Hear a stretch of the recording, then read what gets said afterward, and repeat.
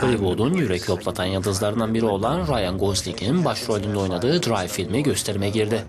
Filmde dublörlük yapan ve üst düzey araba kullanabildiği için geceleri de soygunlara katılan bir sürücünün yaşamı anlatılıyor.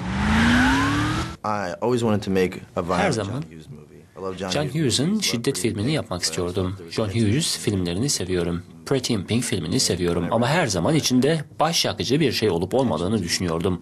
Harika bir film olabilirdi. Okuduktan sonra ben de bu potansiyelin olduğunu düşündüm. Benimle aynı şeyler düşünülmüş gerçek bir mücadele.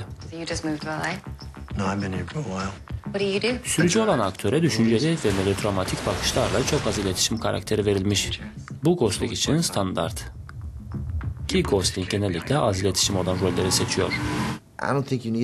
Sürekli konuşan filmlere ihtiyacımız yok. Bazen konuşmak yerine bir şey göstermek daha kolaydır. İnsanlar yani izleyiciler zekidir. Karşısındakini anlarlar.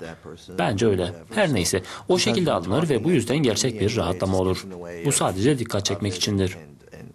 İnsanlar sinemada oynayan karakterleri izlerler ve değerlendirmelerini yaparlar. just watch it and make their own assessments of what they think the characters are going through. My husband's coming home. Where is he?